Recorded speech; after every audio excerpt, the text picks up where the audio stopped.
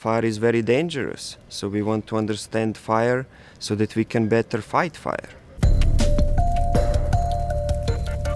Fire is a complex, complex phenomenon, very difficult to model, and especially when you add uh, complexity of terrain, complexity of, of environmental conditions, complexity of fuels.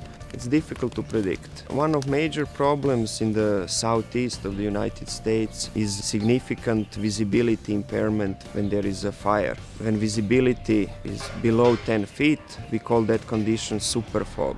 So we conducted here uh, a lot of experimental work to determine what are the conditions that can lead to super fog. And now we have a new criteria that can help Forest Service in planning prescribed burns.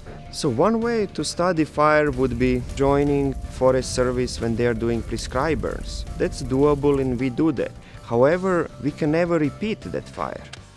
So we need some kind of control conditions in under which we can repeat experiments. And for that reason we build a fire wind tunnel. In this fire wind tunnel, we can control environmental conditions like air temperature, humidity, wind speed, and we can repeat experiments under same or slightly different conditions.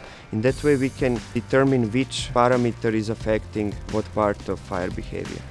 Thanks to our collaboration with the Forest Service, we are fortunate to join them in their prescribed burning efforts.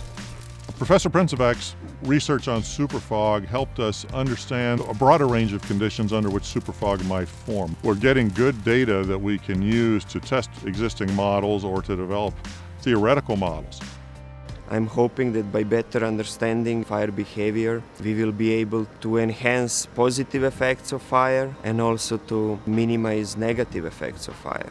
We need fire, but we need to learn how to live with fire because we will always have fires.